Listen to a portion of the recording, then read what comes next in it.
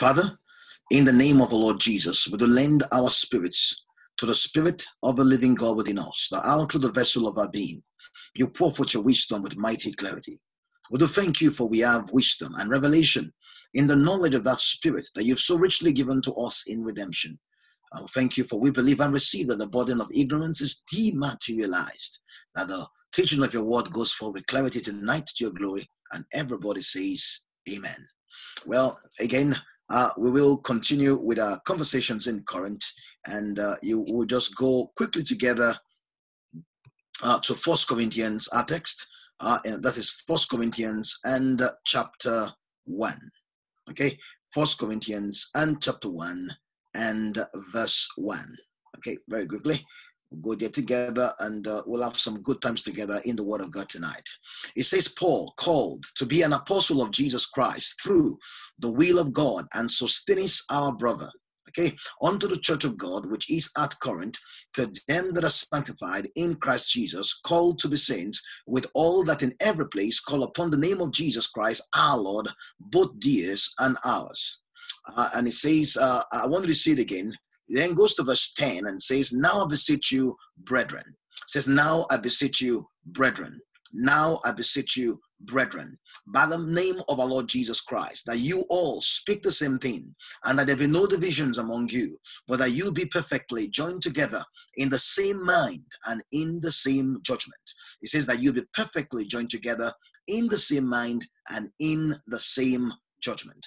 Now, I want you to see what Paul said in Second Corinthians yeah, very quickly. Second Corinthians and uh, chapter 2. Yeah, it says Second Corinthians and chapter 2. It says in verse 12, Furthermore, when I came to Troas to preach Christ's gospel, and a door was opened unto me of the Lord, I had no rest in my spirit because I found not Titus, my brother. Okay, so Paul referred to Titus as my brother. Now, and, and yet, if you look at Titus and chapter 1, it says in Titus and chapter 1, in verse 4, to Titus, my own son. So Titus was a son, yeah, in the faith to Paul. But when Paul is going to refer to him uh, when talking to uh, about him to others, yeah, he says uh, Titus, my uh, my brother, right? Second Corinthians and chapter 2, uh, it says, I had no rest in my spirit. I had no rest in my spirit because I found not Titus, my brother. You know, there should be people that are that way to you in your life. Yeah, it says, I found no rest in my spirit because I found not Titus, my brother. That means the brotherhood was that important to Paul. I found no rest. Now, second, second Peter, second Peter and chapter 3, you go all the way down to verse uh, 15 and account that the long suffering of our Lord is salvation, even as our beloved brother Paul also, according to the wisdom given unto him, as written unto you. So Peter, right, magnified the brotherhood that he shared with Paul. He says, Our beloved brother Paul. Look at First Corinthians, First Corinthians and chapter 16. First Corinthians 16 are you there? It says in verse 12, as touching our brother Apollos. Yeah, as touching our brother Apollos. I, I greatly desired him to come unto you with the brethren, but his will, look at it carefully, but his will uh, was not at all to come at this time. Okay, so uh, he referred to Apollos as our brother. So he was a brother to Paul, a brother to the whole church at Corinth, just like he referred to Titus as uh, my brother Titus. Essentially, if you are in the Corinthian church, you will have been blown away with Paul's phenomenal revelation and conduct and understanding of brotherhood.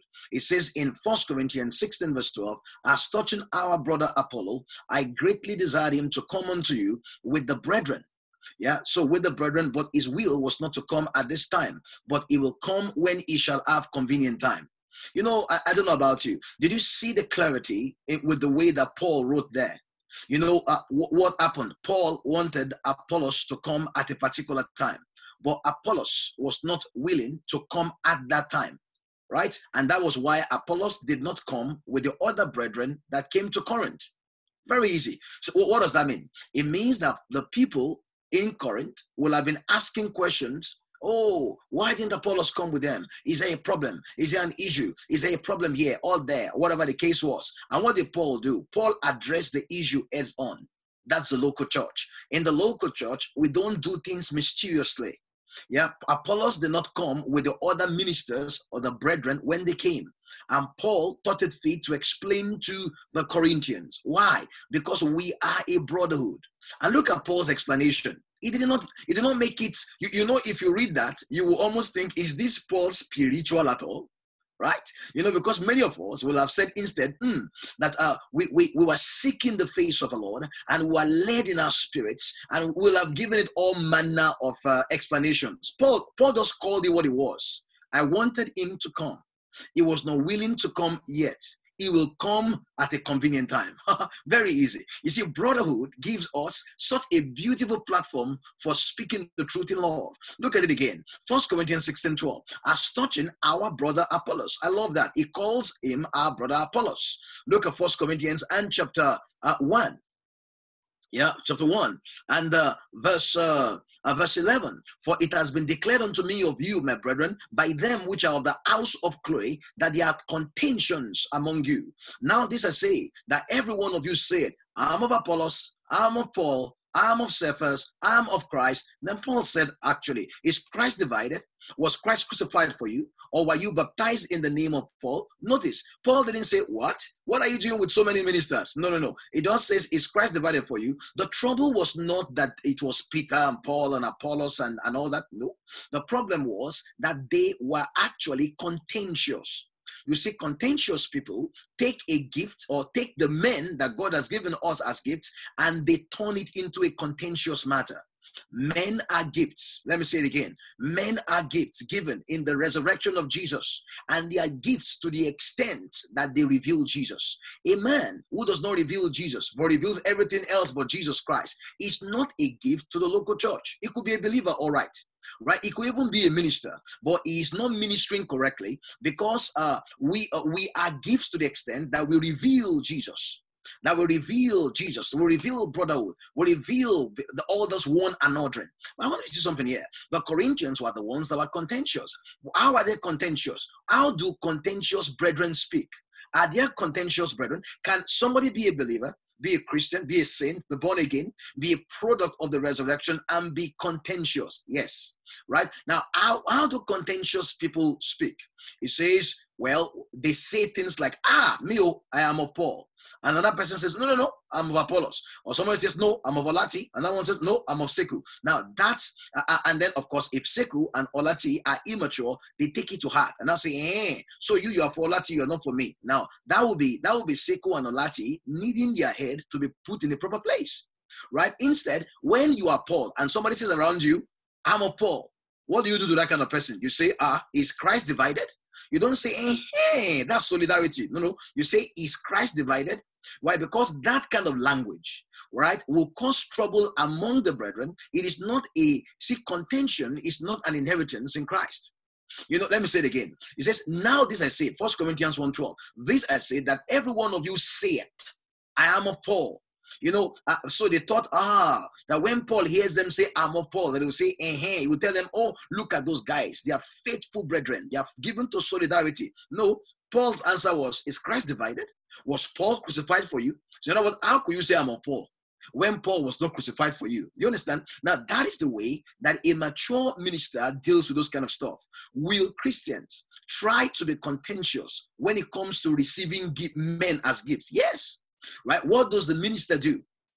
The minister does not play partisan, cultic, or all, all those kind of cliquey kind of uh, things with the saints. The minister magnifies Christ, starts from the revelation of Jesus. So even when they were saying, I'm of Paul, it said, ah, is Christ divided? You get the point? Is Christ divided?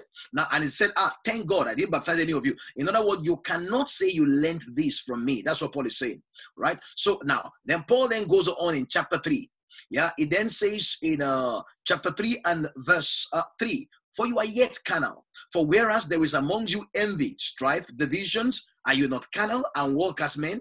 In other words, men that are contentious or saints that are cliquey, saints that are into cliques, right? Uh, before long, they are into envy and into strife and into divisions and into carnality and the walk as men. He says, For while, how do you, how, how do those kind of people speak? For while one said, I am a Paul, and another, I am of Apollos, are you not carnal? Now, you know that language is the same language in First Corinthians and chapter 1 and verse 12. I am of Paul, I am of Apollos, I am of Cephas, I am of Christ. And he said his answer is Christ divided. In First Corinthians 3, it says, actually, do you know what? Uh, if you talk that way, it says, uh, while one said, I'm of Paul, verse 4, First Corinthians 3 4, and another arm of Apollos, are you not carnal? In other words, it is an act of division or an act of carnality to say, ah, me, oh, I am for that person, or me, I am not for. No, no, we are a brotherhood. We don't go into personality cliques. Will there be people that you actually get along better with in the local church? Of course. Why? Because we're human beings. But we don't go into the confession, I am for, I am off. No. No, we don't do that. We are brethren. That's our language. We are brethren. For while one said, I'm of Paul. Now, remember, Paul is the one writing this. See, when Paul heard people say, I am of Paul, Paul didn't pat them on the back and say, ah, that's a faithful guy. No, he says, you are carnal. Now think about this carefully. Uh, imagine you are one of the Corinthians and you walked up to Paul and you said, I'm of Paul. Paul will have patted you on the back and said, What? You are carnal. Are you not carnal? Verse 5. Then he will say, Who then is Paul? Who is Apollos, but ministers by whom you believe, even as the Lord gave to every man? In other words, these men are gifts and they are given to you to be a blessing to you. Who then is Apollos? Paul won't say, eh. You see, ah, well, ah, no, everybody needs somebody to be around him. Also, if you're saying, I'm of Paul, thank you, thank you, thank you. I was almost feeling silly. But now I know that no. Paul will say, Who then is Paul? That's what that's what a pastor does. Let me tell you. You see, the spirit that makes that that attitude or slant that makes a believer say in the local assembly, "I am of this person," and that one says, "No, me, I'm not that person. I'm of another person." That same spirit or slant or attitude or mannerism or perspective or conduct will bring about contention and division and strife and all manner of evil work. You see, what later showed up as the trouble in First Corinthians five, as the trouble in First Corinthians seven as a trouble in First Corinthians 8 and 9 and 10 and 11, right? And to all the way to the end, started with they men not knowing how to receive men. You see, God has given us the man, our man, that man, Jesus. We are in receiving him, we receive the men in him. And we don't pick and choose, we receive the men in him. What, our, what is our focus? Is that person preaching Christ? If that person is preaching Christ, oh, excellent stuff. Now get it right. Am I going to listen to every single person who preaches Christ? No. Why? There won't just be enough time. Right? But the reason is not, ah, you mustn't listen to so and so, or you must only listen to so and so. Now, that only breeds contention. So Paul will say, imagine, although Paul wrote the whole of Corinthians and the whole of Galatians and the whole of Ephesians and the whole of Philemon and Timothy and Titus and all that, the guy said, Who is Paul? You know, somebody would have told Paul, Paul, are you sure you want these people to honor you? How can you say who is Paul? No, tell them, I am Paul the mighty. I was the second born that rose from the dead with Jesus Christ. I was the one, I was raised from the dead before you guys. I, I was one that received the revelation inside the revelation. I know the secret behind the secret. You know, I, I magnify my office, but that's not what he said. He said, Who then is Paul? Who is Apollos? Or ministers? I mean servants. In other words, it, it, this thing that you're trying to kill yourself over is a service to be received. It says, Who then is Paul and who is Apollos, but ministers by whom you believed? Even as the Lord gave to every man. Verse 6 I have planted. That's what I did. Apollos watered. So Apollos and I are in the work of God. I planted Apollos water, but God gave the increase. In other words, God caused, yeah, there to be, right, the expression of, of fruitfulness in line with what I ministered and Apollos watered. God brought the increase of what I ministered. Yeah, can you see? So he's not saying, oh, I'm a better minister than Apollos, or oh, guys, forget Apollos, listen to me. No, you see, I just said, you know what? I planted, Apollos watered. You see, it takes humility for you as a brother to know that God does not leave himself at the mercy of one man.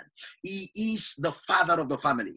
And in the family, he has saints. Just like God told Elijah, he said, I have 7,000 men that have not bowed their knees to Baal. And Elijah was trying to intercede against Israel. You see, that's the way it is also in the local church. All of us, right, as we grow in the light and we walk in the light and we allow ourselves and our conduct to be dominated by the word of God, we are able to minister to others in that we serve them.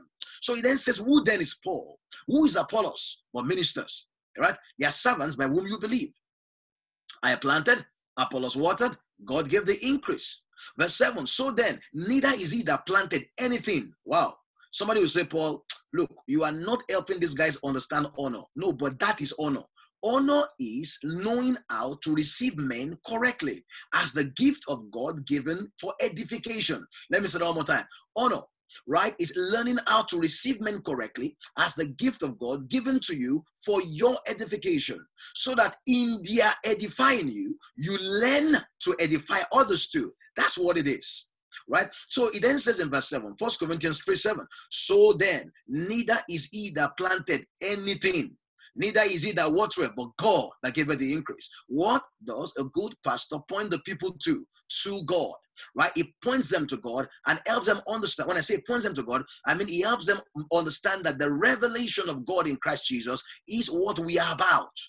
It's not the man that plants or the man that waters. Does God need men to plant? Yes. Does God need men to water? Yes. But are those men that water the focus? No. Are those men that plant the focus? No. It is God that gives the increase. Right? It is God that gives the increase. Now, eh, but now said in verse 8, now he that planted and he that watered are one, and every man shall receive his own reward according to his own labor. Watch carefully. We receive our rewards according to our labor. I will not receive for Paul's labor. Paul will not receive for my labor. Apollos will not receive for Paul's labor, and Paul will not receive for Apollos' labor. Right? Let me tell you one more time. You see, there is such a thing as the concept of rewards, as the doctrine of rewards. And the doctrine of rewards is a doctrine in Christ that says that men will be rewarded for faithful ministry. Yeah, you and I, we will be rewarded by the Lord for faithful ministry. Why? Verse 9, 1 Corinthians 3 9. We are laborers together with God. So God Himself is a laborer. So we are God's husband. You are God's husbandry. You are God's building. So the people that I come to, I hold them sacred in my heart. That they are God's husbandry. That means they are God's garden and they are God's building. They are the house that God built in the resurrection of Jesus Christ. What do I do? I plant there and my action of planting is sacred. Now, when you say plant, we're not talking about horticulture, right? it's a figure of speech referring to the act of ministering the word of God, teaching the word of God. In fact, he said it this way, verse 5 For who then is Paul and who is Apollos, but ministers by whom you believed? Can you see? So the, their act in helping you to believe is what he called planting. And the act in establishing you in that, he calls watering. But it says, neither is he that planted anything or he that watered anything. Wait, that does not mean, oh, that God is saying, well, people that minister to us are worthless. No, that's not it at all. It's simply saying that we should, that, that he's telling the Corinthians, why are you so caught up on, for Apollos? You see, he says that is the hallmark of carnality. Now, but the guys will have been saying, oh, in, in First Corinthians 1, no, no, no, no, no. We know we are the church of God. We have the revelation of a church. We have the revelation of sanctification. We know justification in Christ Jesus. We know about identification. We know brotherhood. We know, we know, we know. Yeah. In First Corinthians 8, they, they will have said, ah, we, we all have knowledge. Yeah, it says, and now as touching things offered to idols, we know that we all have knowledge. Fine. But their knowledge was actually uh, manifest was being used for carnality. Let me say it again. Bible knowledge can be handled unwisely, just like Bible knowledge can be handled wisely. Let me say differently. Revelation knowledge, right? Epignosis can be handled immaturely, and epignosis can be handled maturely. It is one thing to have the correct knowledge, it's a different thing to possess that knowledge with edification of people in mind. And very often, the immature person can have the truth, but possess and hold and use the truth in a non edifying way. how are the Corinthians? Did the Corinthians have knowledge? Yes, they did. How are they using the knowledge? They were using that knowledge to, for contention, for strife, and all this kind of stuff. So Paul said in First Corinthians and chapter 3 and verse 4, why one said, I'm a Paul, and another, I'm Apollos, are you not carnal? Then it goes to chapter 4. Yeah, and then says in verse 6, and these things, brethren, he calls them brethren again. Can you see that this brethren, brother, sister thing is a biggie? Yeah. So, and these things, brethren, I have in the figure transferred to myself. So, the figure of planting, the figure of watering. No, it doesn't mean that uh, Apollos works in the water corporation or that Paul is a farmer. No, it's a figure. So, these things, brethren, I have in the figure transferred to myself and to Apollos for your sakes, that you may learn in us. So Paul expected the Corinthians to learn from Paul and to learn from Apollos. Yeah, to learn in us, not to think. So, in other words, the greatest thing you that happens to you when you come in contact with solid ministries is that your thinking is affected. You may learn in us not to think of men above that which is written. Let me say it again. What is our greatest challenge in the local church? That we think of men above what is written. How does it show up? We uh, that, that means we think of men above God's word, one, or we elevate men above the word of God, or our allegiance is to men rather than to the word of God, and in the word of God we learn to relate with men. Let me say it again. Our allegiance should be to God's word, and then in God's word we are introduced to men, and in God's word we learn to discern correctly, and then we learn to relate with men properly. But if you don't do it in God's word and you do it outside God's word, then what's going to happen is going to be I'm a Paul, I'm of Apollos, I'm of Cephas, and then it becomes contention and division. Amen. So Paul said in 1 Corinthians 4 6, I have the figure transferred to myself and to Apollos for your sakes, that you may learn in us. So Paul expected the Corinthians to learn in Apollos, to learn in Paul. So Paul was not the kind of person that was so cultic. He was saying, No, no, no, no, no. It is me send away Apollos. No. They, the Corinthians, were the ones that were cultic, that the ones saying, No, me and Apollo, I'm an Apollos guy. The other person says, No, no, no, no, no, me, I'm a Paul guy. And I don't care about Apollos, and I don't care about so and so. I'm a Paul man. And Paul said, No, that's carnality. See, it looks or sounds spiritual, but it's carnal. Why? Because it is using a gift that God has given to then cause divisions and contentions and demarcations among the saints where they should be known. Now, instead, what should there be when you receive good ministry? Edification. You become more body of Christ conscious. Let me say it again. Anytime that you begin to feel like you are an exclusive group in your local assembly, there's something going wrong right we have you you come in contact with the knowledge of the truth of god's word but we are not more special than other believers why we are blo- we are bought by the one blood by the one sacrifice by the one redemption, by the one Father, into the one family, and we are called by the same name. Same, same. Yeah, we have one body, one spirit, one Lord, one faith, one baptism, one. There's not two. Although some Christians might not know what I know or what you know, but yet we understand that in that belief, in the resurrection of Jesus, and in the possession of the one spirit, we are one. Hallelujah. Now, moreover, what do you have that you are not given? You understand? That keeps you humble. So, First Corinthians 4 6, and these things, brethren, I have in the figure transferred to myself and to Apollos for your sakes, that you may learn in us not to think of men above that which is written. So, men are the gift that God has given to us in redemption, and how we relate to men. One, how we receive men. Two, how we learn from men. Three, says a lot about us. So, how I receive you as a brother might not have anything to do with you, has a lot to do with me in my immaturity and carnality. Yeah. So in this case, Apollos and Paul were not the problem. Paul said, Who is Apollos? Who is Paul? Now, so Paul and Apollos were not the problem. It's just that people, as a result of the loss of the flesh and immaturity, have a tendency to repeat in the local church the carryover mentality from the secular world. Right? You know, say, ah, no, you tell that manager in the office, me, I'm for you. I'm not for that, that manager. Just remember me in your kingdom. Uh, me, I'm for that. I'm not for that manager. I'm for this person. You know th- that kind of divisive attitude. We don't bring it into the local church. In the local church, we are brethren. So it says that you may learn in us not to think, First Corinthians 4 6, you may learn in us not to think of men above that which is written.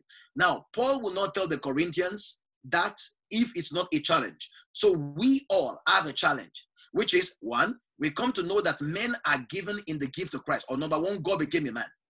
And number two, that man was a sacrifice uh, of God. Number three is that in receiving that man, we find men given to us as gifts. We receive the man Jesus, and in receiving Jesus, men are given to us as gifts. Here's where the trouble starts. We must learn to think of the men, right, and subject our knowledge of men to the written word. whatever you know of people, whatever you learn from people, whatever you know about yourself, you must know it in the light of the written word and subject it to the written word. So First Corinthians 4 6, that you may learn in us not to think of men above that which is written. That no one of you be puffed up. So, in other words, we can we get into pride when we elevate men above the word of God.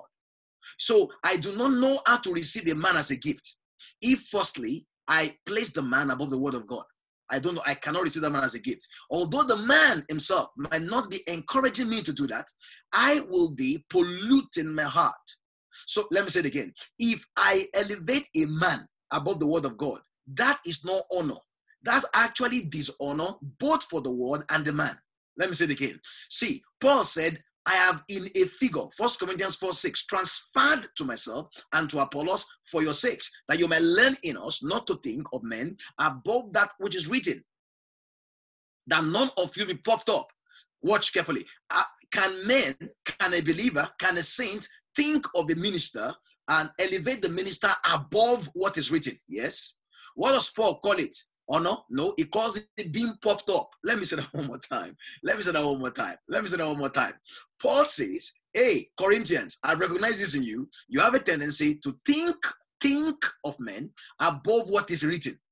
In other words, you relate to and uh, uh, consider, right, men in a way that you cannot find scripture for. Right? In other words, unconsciously, you are uh, you are actually manifesting the commandments of men. In which case, you are actually not honorable, you are puffed up. So let me say it again honor is learning to receive men and to receive of men where by subjecting the men and what you received of them to the word of God. One more time honor yeah, when it comes to honor, you are considering two things the man and what you receive from the man. What are you doing with that? You are subjecting both the man and what you received of the man, in this case, teaching or conduct, to the word of God. That is honor. One more time honor as men and their influence and the word of God. What do you do? You take the man in your heart and you take the man's influence in your heart and you subject the man and the man's influence to the written word of God. That is honor. I'm going to say that one more time.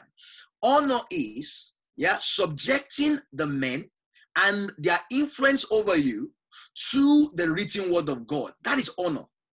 What is this honor? This honor is what taking men right outside the parameters of the word of God. So, for example, a man comes to me, a Paul comes to Corinth, and he comes to teach, or your pastor is there teaching you the word of God, and you are yawning and you are sleeping and you are dozing off. That's dishonor. That's just dishonor, right? Now, uh, uh, uh, uh what are you doing? You are not receiving from the man. Okay. Now, or, now everybody might understand that I just said now, but this is also dishonor. When my pastor says one thing, and because my pastor has said it, I do not subject it to the word of God, that is dishonor. What, what am I walking in? Ah, somebody, you might have people around you that will say, ah, see or no. But you open the book of First Corinthians, and Paul will say, no, that's pride. Let me say it again. Pride is often masqueraded as honor. Uh, uh, what other name is it called? Hero worship. That's what it is. Hero worship. What is hero worship? My fearing a man such that I subject the word of God to the man, not the man to the word of God. So it is whatever the man says the word of God is, that's what the word of God is, rather than the word of God introducing me to the man. Somebody says, but men are the ones that teach us God's word. True. But when you read God's word, God's word will then tell you that you are not to think of men above what is written. You get it now. So the trouble is not who teaches you the word of God. The trouble is how do I learn to think in line with the word of God? Let me say one more time honor, biblical honor. We're talking of scriptural honor. We're talking of local church honor, redemption honor. Let's call it that. The crucicentric honor, right? Yeah. Honor as found in the word of God is a ministry. When a minister sees that people are elevating him above the word of God, he knows that those people elevating him above the word of God are damaging their own heart with pride. So what does he do? He corrects it. He faces it headlong. He addresses it. He clarifies it. Why? So that the men can walk in biblical honor. What is biblical honor again? Why? Why honor? You know, many weeks ago I treated why honor. The reason for honor is so that men can receive the word of God from other men. Because a man that you don't open your heart to, you cannot be blessed by. But that therein lies the danger. If I then elevate the man above the word, you guess what? I cannot receive the word from that man because what I'll be receiving is my uh, pride. Let me say it again. Here is a man, a minister, and uh, that is the word of God. The man comes preaching to me the word of God. I elevate the man above God's word. What is that called? Pride. So, what is in my heart? Pride. What will I receive? Pride. In other words, the moment I begin to elevate a man above God's word, I stunt my spiritual growth. I limit my own spiritual progress. Except the man or a leader or another brother beside me points it out to me to say, you know what, that one that's not uh, that's not um, honor. That's actually pride. And Paul did that for the Corinthians. First Corinthians 4 6. And these things, brethren, have I read in a figure transferred to myself and to Apollos for your sakes. In other words, this is for your advantage, that you may learn in us not to think of men above that which is written. So you, as a believer, you must learn to reason in line with the word of God. Learn to see when it even comes to your own self think of yourself in line with the word of God. Don't think of yourself in line with your feelings. Don't think of yourself in line with your preferences. Think in line of the written word of God. Amen. Think in line with the written word of God. It says you, it says that you may learn in us not to. You know, bless God, that's what Paul taught.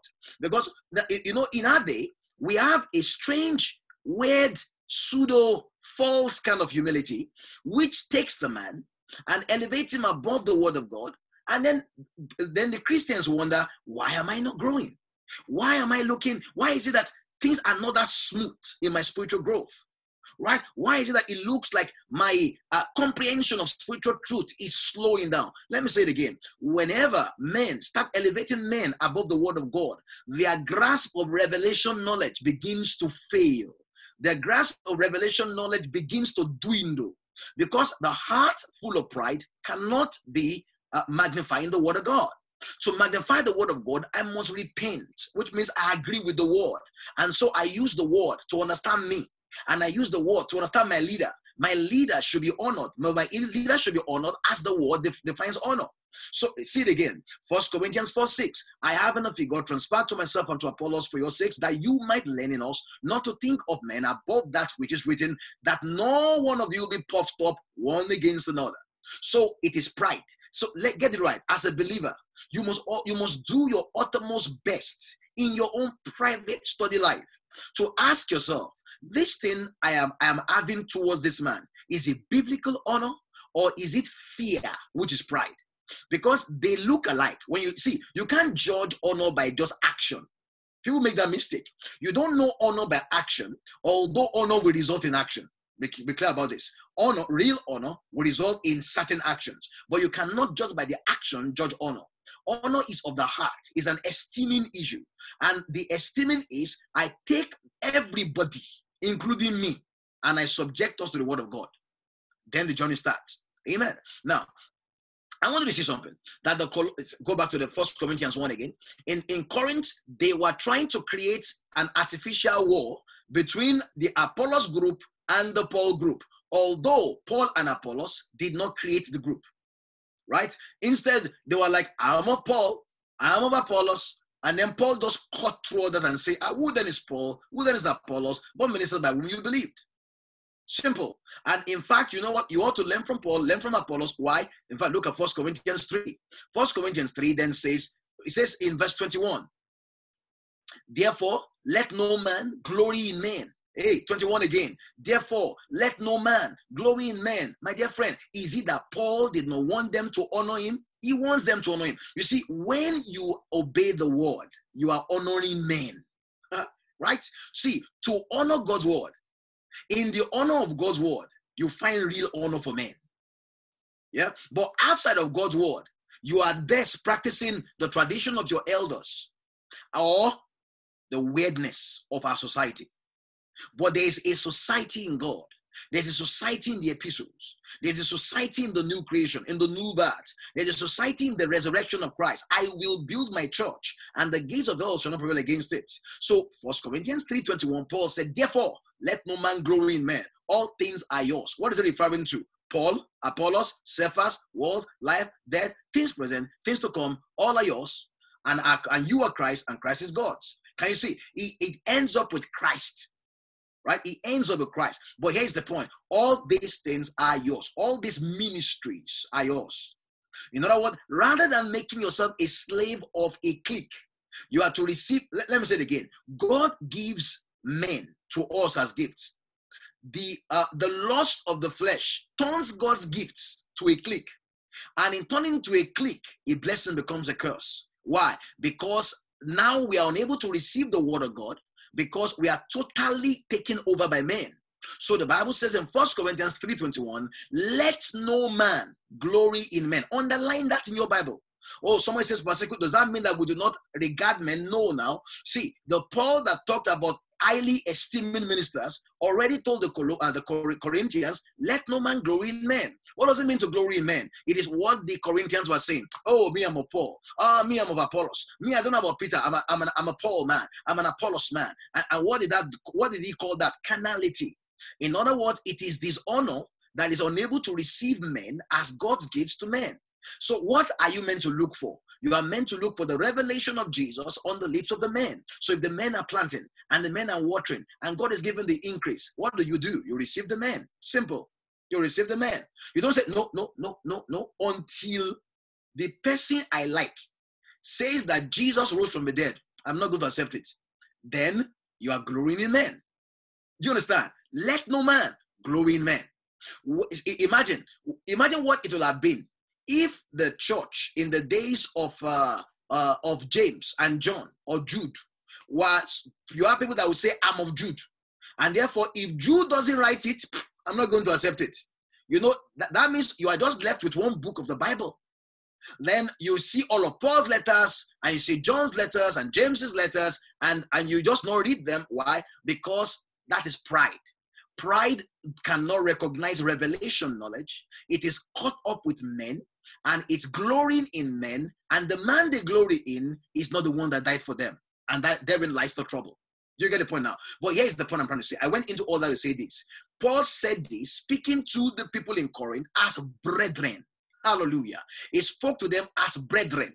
Now, this see verse 22, First Corinthians 3 22, whether Paul or Apollos or Cephas or the world or life or death or things present or things to come, all are yours. See, that scripture is about ministry.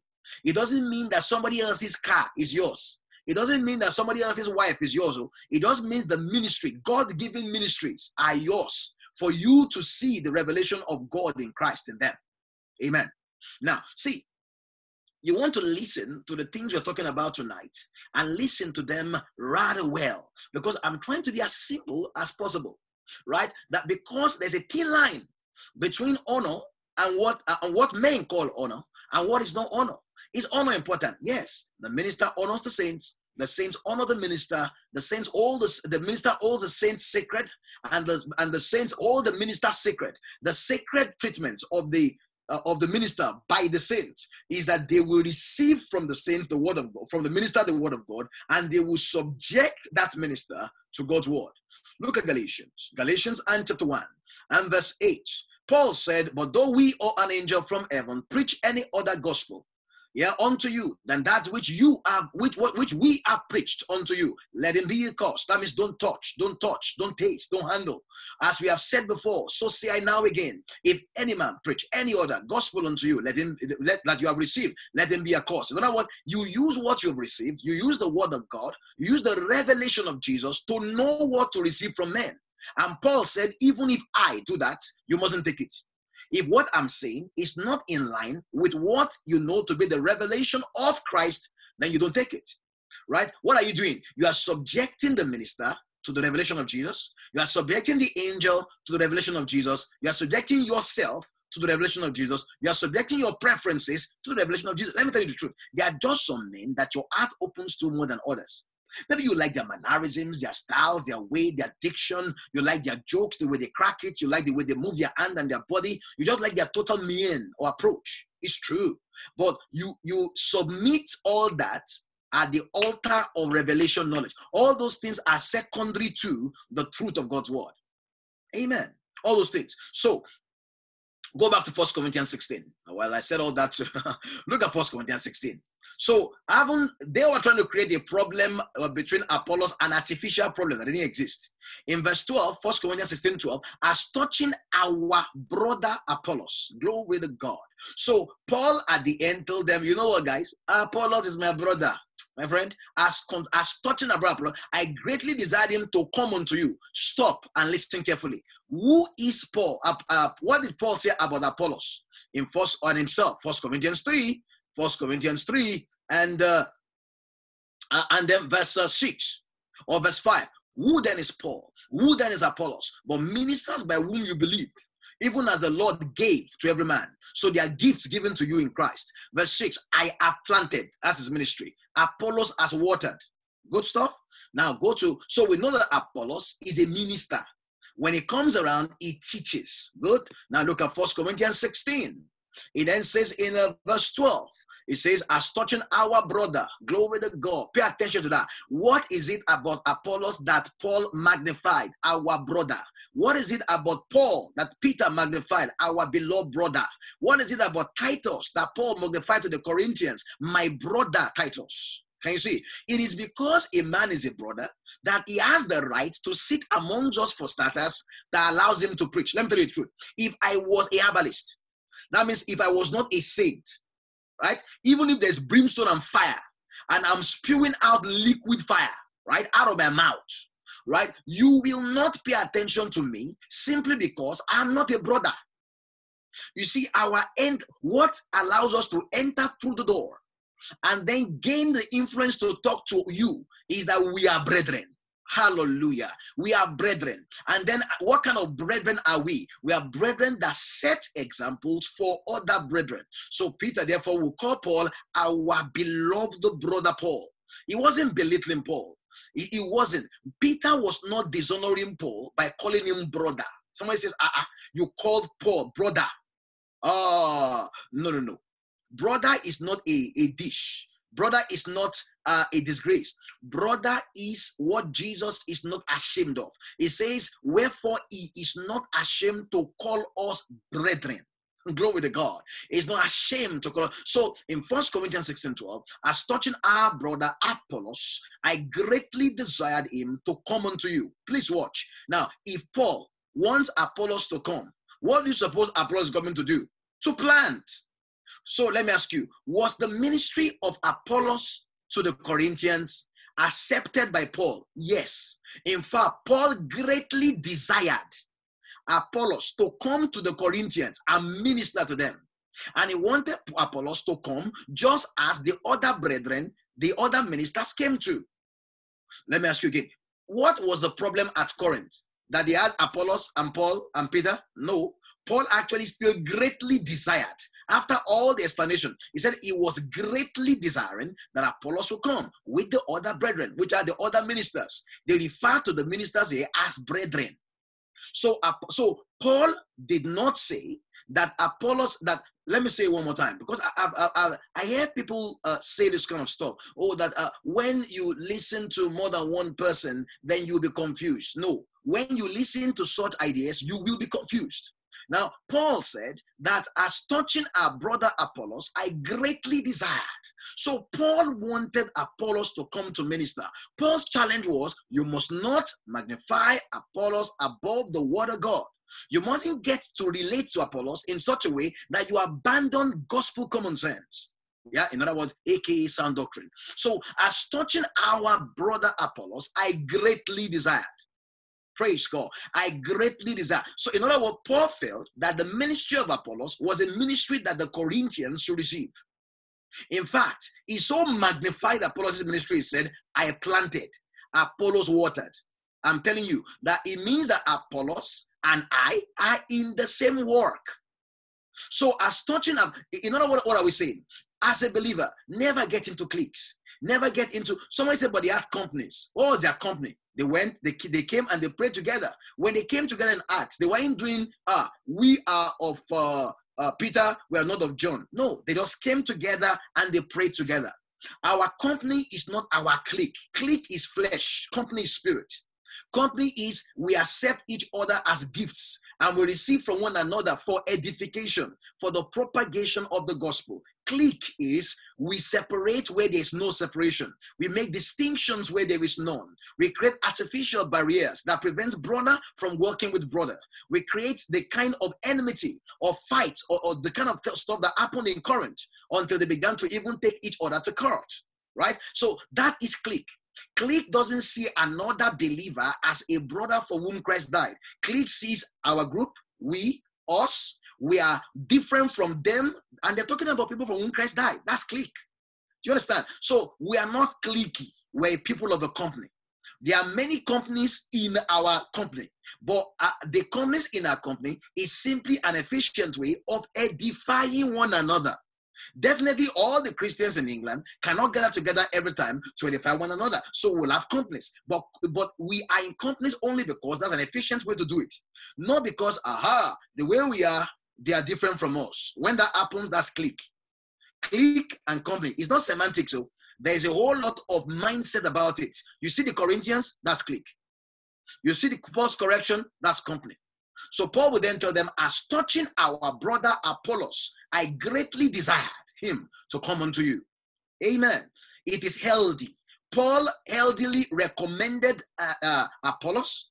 And when Apollos was not coming, he let the Corinthians know. You know why he let the Corinthians know? Because he knows the tendency of the Corinthians. But before long now, these guys will be saying, I'm of Paul, I'm of Apollos, and they will just bring their uh, uh small heads into a big matter. Let me say it again. As touching our brother Apollos. I love that. Our brother. Our brother. What a marvelous day it will be. When the first thing you think about when you see another believer is that's my brother. That's my sister. You see, and my sister's about to preach the word of God. I'm going to listen with rapt attention. I'm going to give it all my absorbing energies. Something beautiful happens at that point in time. So, as touching our brother Apollos, I greatly desired him to come unto you with the brethren, but his will was not at all to come at this time. Notice, Paul did not say it was not God's will for him to come. Can that be the case? Yes. Was that the case here? No. So, you know, these guys talk about themselves in terms that made you know they were human. His will was not to come. In other words, Paul could not bend Apollos' will. Paul tried to persuade him. He desired greatly. Apollos thought, no, I shouldn't come now.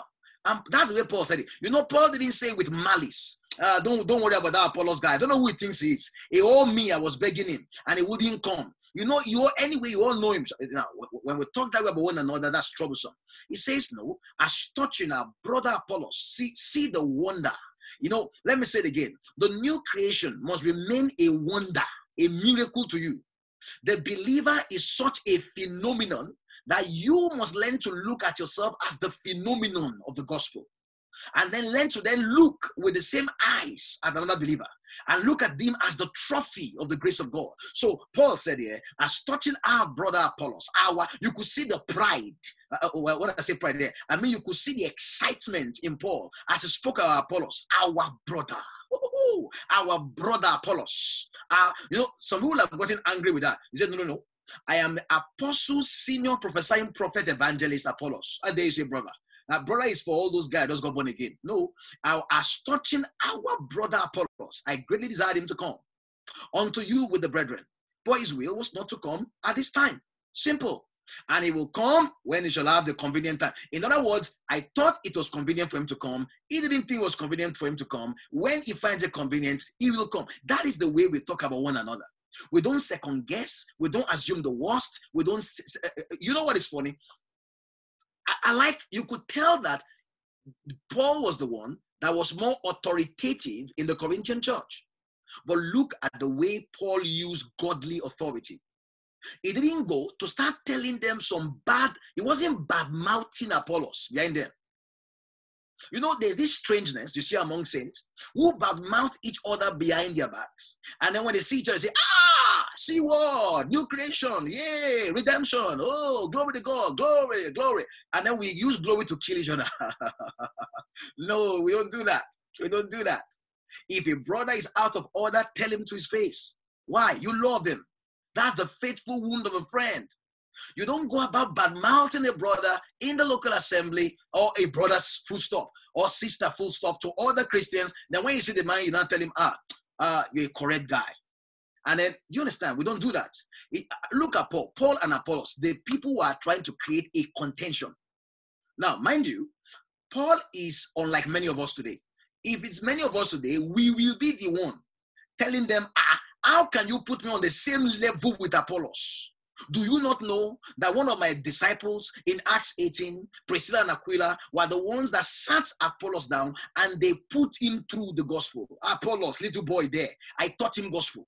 Apollos was, he was nothing before. I was one that taught him. I taught him, I taught his teacher teacher, and I taught the Greeks Greek. And now I'm telling you that who is he? Who is he? He doesn't know what he's talking about. No, we don't do that. We don't talk that way. Someone say, Pastor, do Christians talk that way? Okay. Call it figure of speech. But let me tell you now, as touching our brother Apollos, our brother, our sister, hallelujah, our sister Priscilla, our brother Apollos, amen. As touching our brother Apollos, I greatly desire him to come unto you, amen. That's healthy. I greatly desire him to come unto you, yeah, with the brethren. But, what his will was not to come at this time. Let me say it again. Never try to, as a minister, as a pastor, as a shepherd, don't spiritualize that which should not be spiritualized. In fact, let's say differently. It is spiritual to let matters be as they are, or to state matters as they are. Do you understand? So let's say differently. So Apollos was did not want to come yet. That's all. The spiritual thing to say he didn't want to come yet. It will now be unspiritual to say, ah, how can we just tell them Apollos was not willing and I wanted him to come? Are, we saying that Paul was not in the spirit? Don't add spirit to that. It was just a thing of I desired and he wasn't willing. Simple. So how do we state it? I desired, he wasn't willing. When he's willing, he will come. And that ends it. Amen. He ends it and it makes it so easy. Let me say it again. First Kings. No, first Samuel. First Samuel. And chapter 15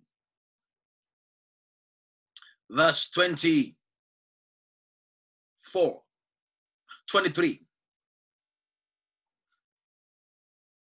It says, For rebellion is as the sin of witchcraft. So if you have a book and you're writing down, you write rebellion equals witchcraft. Good. So don't assume you know what witchcraft is. Oh. Witchcraft is nothing other than rebellion. Now, what is rebellion? Let's watch. Stubbornness uh-huh, is as iniquity and idolatry. So the sin of idolatry is stubbornness. Just like the sin of witchcraft is rebellion. So when a rebellious person is in witchcraft, a stubborn person is in idolatry. Now, how do you know rebellion and stubbornness? Very easy. Someone is talking, Pay attention. This is a, a worthy prophet. He said, Because you have rejected the word of the Lord. Okay. So, what is who is a stubborn believer? A stubborn believer who is in the sin of idolatry is a believer that does not prioritize the word of God, rejects the word of God, does not give the word of God first place. That's all. That's stubbornness. Some people think stubbornness is when you stick with God's word. No, you are expected to stick with God's word. Yeah, you are meant to be immovable in God's word. In God's word, right? In God's word. When you are not persuaded in God's word, you're not persuaded. When the word of God has built persuasion in you, it has built it. That one is not stubbornness. That is you holding fast, right? And you should do that. But there's stubbornness often, and it doesn't look like stubbornness. It's simply the rejection of the word of God. On a matter, the word of God says something, and the man follows the tradition of men. That is stubbornness, which is rebellion. That is the witchcraft, that is idolatry. It says, because you rejected the word of the Lord, you are rejected, uh, uh, he has rejected thee from being king. In other words, Saul, who was the king of Israel, who was me- and the king is meant to be a teacher of the law. The king is meant to be somebody that uh, takes the revelation of Moses and teaches it to the people. He lost his right to teach it to the people because he rejected that word. He would not prioritize the word of God, and that is witchcraft. So when, when the Bible says who has bewitched the Galatians, it's easy.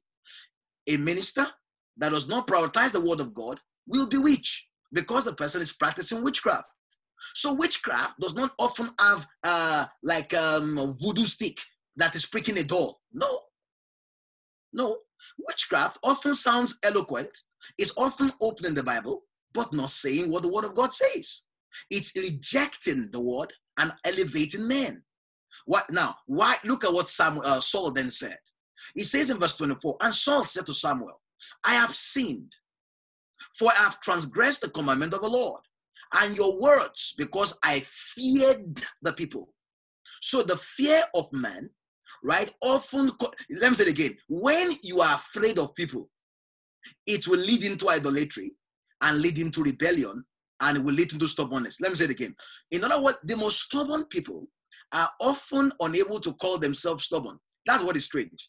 Now, people think that if you find somebody like Paul who says this is the truth of scripture, we will not allow any other thing. Say, hey, Paul is a stubborn man. No, that is a humble man. the stubborn man is the man that when uh, the group that says circumcision is the correct thing, come, he will say circumcision is the correct thing. And another group says, don't circumcise. You say, ah, don't circumcise. Someone will say, ah, what kind of man he is? Ah, he knows how to just blend. No, he's stubborn. Why is he stubborn? In that he abandoned the word of God. He's actually a witch and is into idolatry. Let me say it again. As a believer, I never want to be found practicing witchcraft or idolatry. You see, idol so because of our interesting ways of thinking, many people think that idolatry is when you have a man with uh, palm fronds uh, tied around his waist and is dancing to some uh, mystical tunes and dancing around the mosquito or dancing around the grasshopper and or dancing around uh, a bushfire and then they are singing and they are dancing and sweating. Say, ah, look at this fetish man. But the greatest fetish is the fetish that happens in the local assembly, where a man is opening the word of God, but really not opening it. Right? A man is opening the Bible, but the minds of men are closed. Right? Men are being made to abandon the word of God. Like we said in Galatians 2 yesterday, with the moment when Peter in Galatians 2:11, yeah, abandoned gospel and out of fear, like Saul, out of fear for some big boys, clique. That's clique. Look at it again. Uh, Galatians. Go back to Galatians. Galatians. So, my dear friends, don't be cliquey. Be a man given to company. Keep good company, excellent company. Keep good manners in the gospel. There are some things that are bad manners in the, uh, uh, among saints, and there's good manners. It is good manners to keep correct correct company. Yeah, men that uh, men that prioritize the love work and the word of God. Now, it says here in uh, uh, Galatians 2 verse 11, but when Peter was come to Antioch, I withstood him to the face because he was to be blamed. For before the certain came from James, he did eat with the Gentile. But when they were come, he withdrew and separated himself, fearing, can you see? Fearing them which were of circumcision. What was his action? He withdrew. Why did he withdraw? Fear right? So where was the fear? Inside or outside? Inside. So the fear was invisible. The product of the fear was visible, right? Now, so the rebe- and what was that? Rebellion and witchcraft. Somebody said, What? Did you just say Peter was in witchcraft? Yes, that's witchcraft. Why is it witchcraft? What is witchcraft, right? He's manipulating and controlling and making people do things that are contrary to the word of God. That's just witchcraft. That's like a voodoo doll. Press you, ah, yeah, massage you, hey, you know, all this kind of stuff. That's the witchcraft. So when a man is able to influence me against the word of God, that is witchcraft. When a man is able to make me reason right against God's word, take a stand opposite to God's word, that man has successfully gotten me into idolatry. The man is an idolater, the woman is an idolater, and the man or woman, the minister, has gotten me into idolatry. Let me say it again. You know, when I say when I'm preaching in this series, please don't think I'm talking about some uh, pope, pope uh, the pope in Rome. I'm talking to you. I'm anticipating that you see yourself as a teacher of men, an instructor of men. That you see yourself as I should have disciples, I should have those that I train, that I bring up in the nurture and the admonition of the Lord. That's what I mean. So when we say this, I'm saying you. Don't think about some big man somewhere. I'm talking to you. So you are going to be somebody not given to witchcraft. Because witchcraft is stubbornness, idolatry. What is stubbornness? A man insisting against God's word a man taking a stance against God's word, he will rather please men than be found on the side of God's word. You know, and I'm telling you, except you give yourself to prayer and to being persuaded in the word, it is so easy to abandon the word and to be cliquey with men. Let me say it again. Funny enough, men need men, but we don't need cliques. We are set the solitary in families. So in the local church, we are in a family, not in a clique. You know, it's very funny. You know, sometimes the very illustrations we use to explain family make it sound a bit more like a mafia. No, we are not the mafiosi. We are not uh, the the uh, East London gang on the or, or the underworld. We are the church of the firstborn. All that we do is just because we care. About, it says Bible says, "Let nobody should mind his own things, but the things of others." Let this mind be in you, Philippians 2, that was in Christ Jesus. So be other people minded. Not nosy, but other people minded. That means their welfare, their edification is important to you. So Barnabas was caught away in the acting or in the voodoo. See, let me tell you, there is no voodoo as effective as church voodoo. Let me say one more time. There is no voodoo as effective as church voodoo because the way many of us do church, right? People don't need the devil again. There's no need for the devil. The devil can successfully go on holiday, given the way many saints relate to other saints. There's no need for any devil because the saints in their actions are all the devil the other saints need. But no, we are not devil minded people. We are God indwelt. We are spirit indwelt. We are the people of God's love.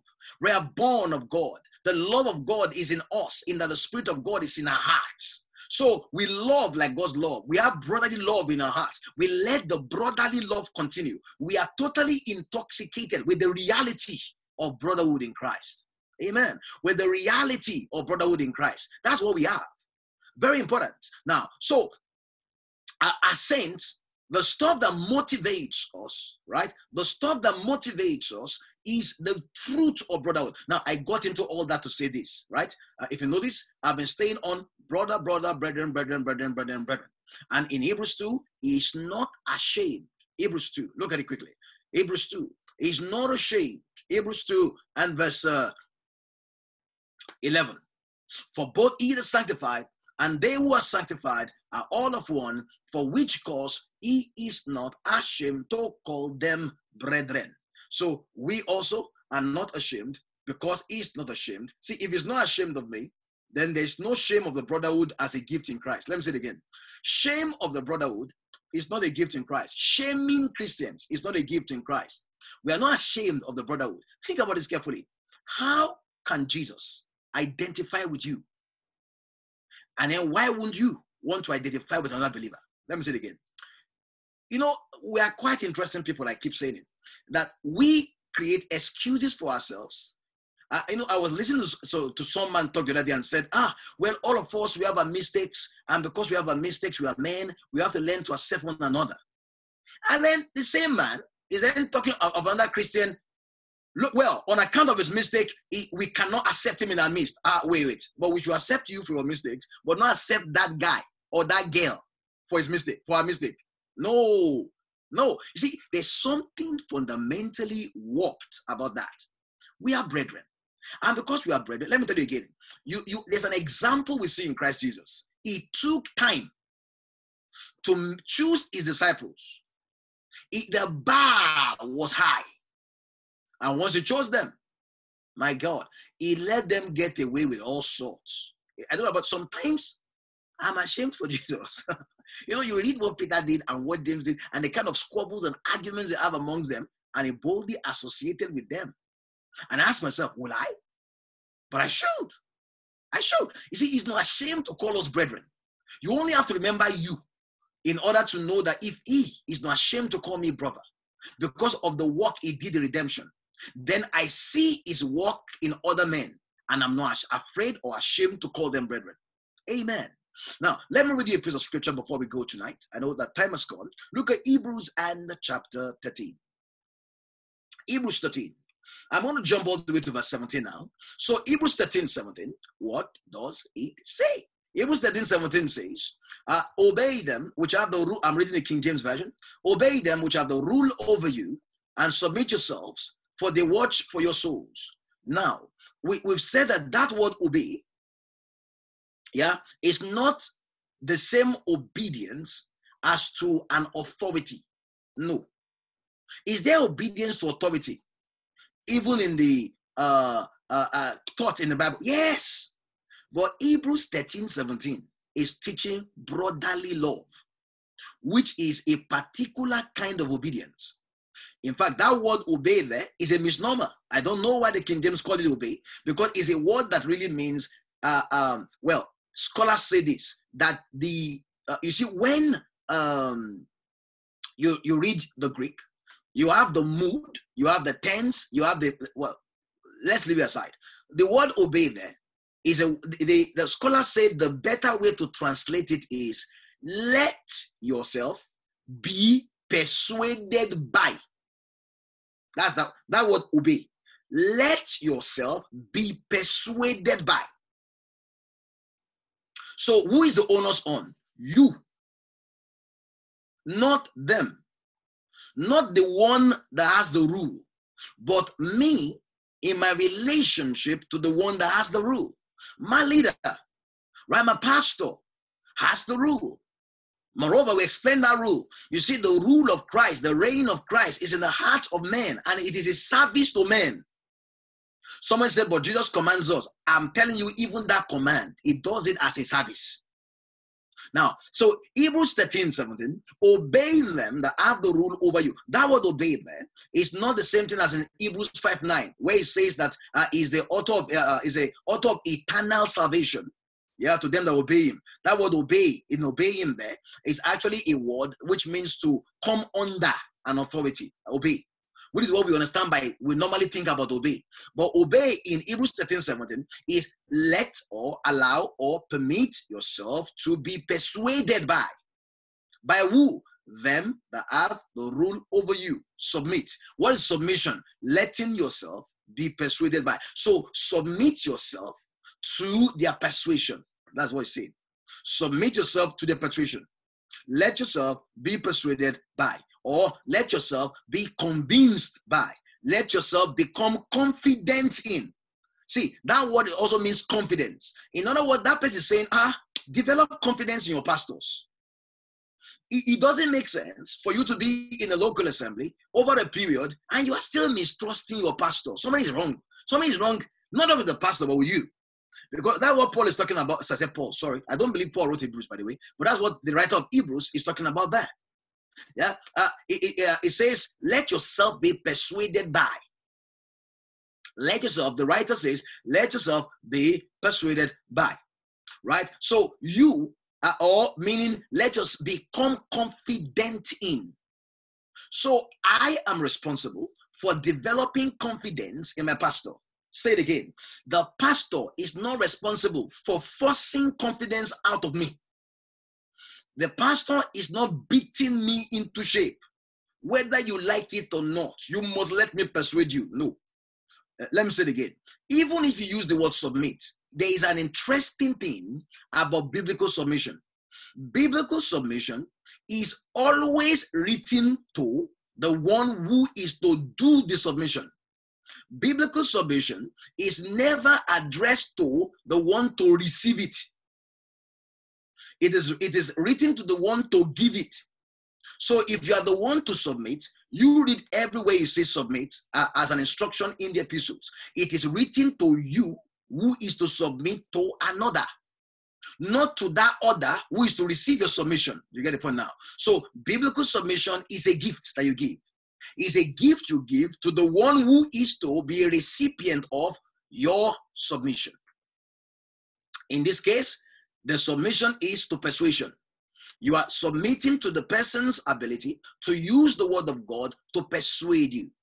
You are developing confidence in that, right? And you are developing confidence in your pastor. Praise God. That, that was talking about that, right? You are allowing yourself to trust, to assent to, to rely on, right? It, it, means you are following that person. You see, there's a following in verse 7. Look at verse 7 here.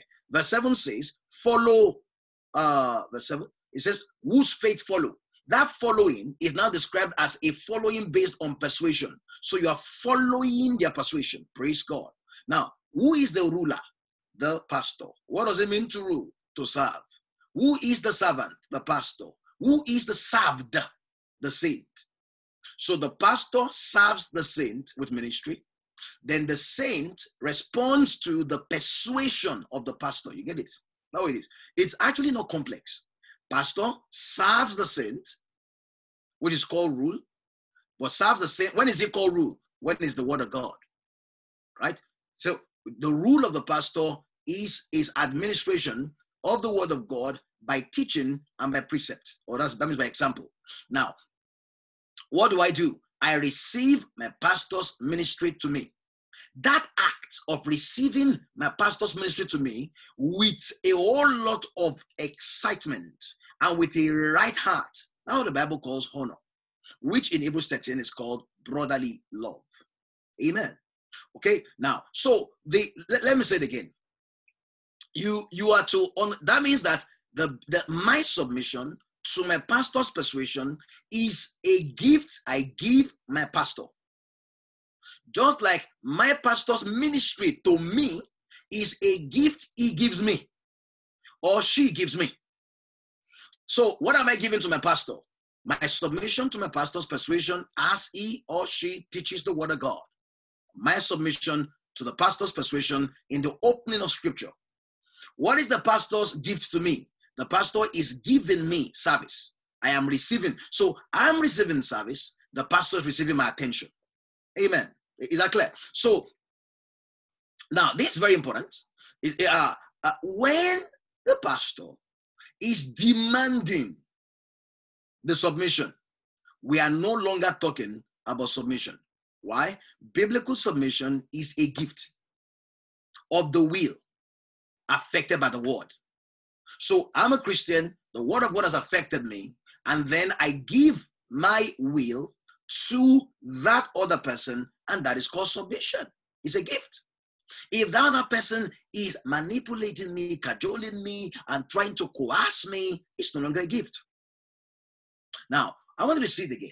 It says in verse 17, Obey them that have the rule over you and submit yourselves, for they watch for your souls. So the pastor is ministering to your inner life.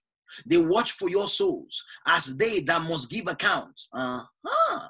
Now they must give account. Watch, carefully. That they must they must give account. Now, so somebody says, well, so that means that the pastor is going to go to God and say, Pastor, Sekou is not listening to me. Oh.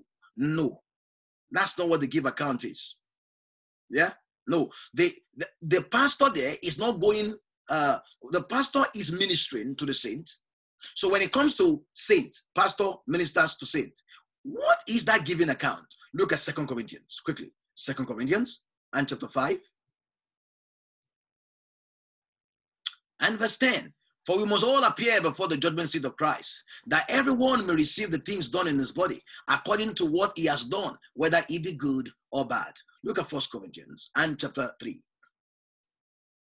Yeah, in First Corinthians and chapter 3, it says in verse 8, Now he that planted and he that watereth was that ministry. So I one, and every man shall receive his own reward according to his labor. So who is Paul and uh, who, uh, uh, who is Paul and who is Apollos? actually uh, accounting to, or who is Paul and Apollos actually giving an account to?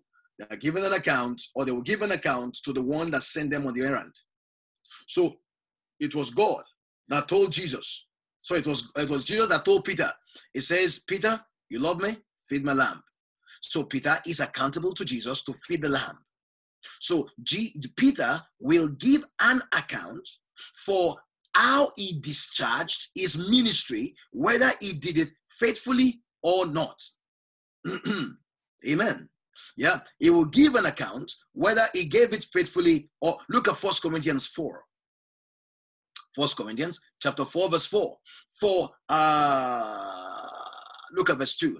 First Corinthians 4 2. Moreover, it is required in stewards that a man be found faithful.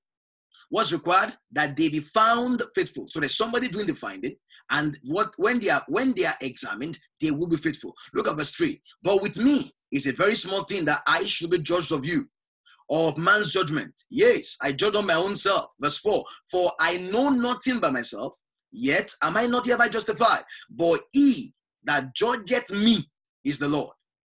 So therefore, judge nothing before the time. So until the Lord come. So judge nothing before the time. So when it says to give an account, who are they giving an account to? Hebrews, quickly. In Hebrews and chapter 13, who are they giving an account to? To the Lord. Yeah, they are giving an account to the Lord for the ministry that has been given to them to discharge. Now, how are they to do it? They are doing it with joy and not with grief. Now, in not, what is the grief? What, what will it be to do it with grief? It will be that rather than me submitting to their persuasion, I am aloof to their persuasions, and therefore I make a job that is already having a high standard harder. Let me say it again.